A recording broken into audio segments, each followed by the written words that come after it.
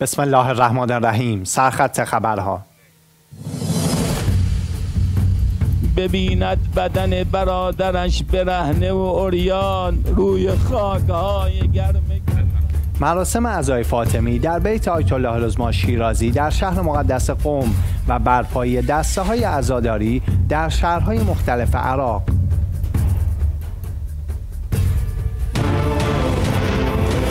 وزارت حمل و نقل عراق در حال تکمیل مسیر ریلی نجف به کربلا هستیم.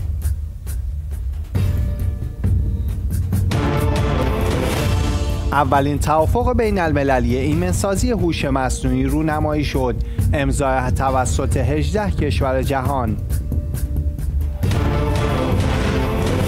و ادعای ترسناک بانک جهانی 10 میلیون نفر از جمعیت ایران در فقر کامل فرو رفتند